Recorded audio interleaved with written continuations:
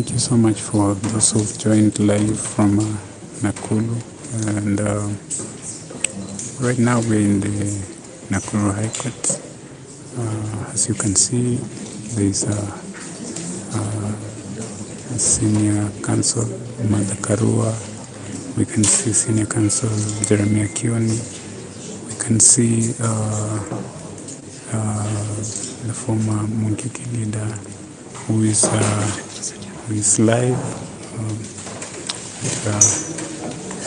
at, uh, the court already, and uh, of course uh, his lawyer.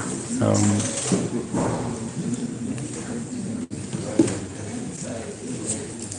and those are live images from the court, so we're expected to start any time from now, so we can can be able to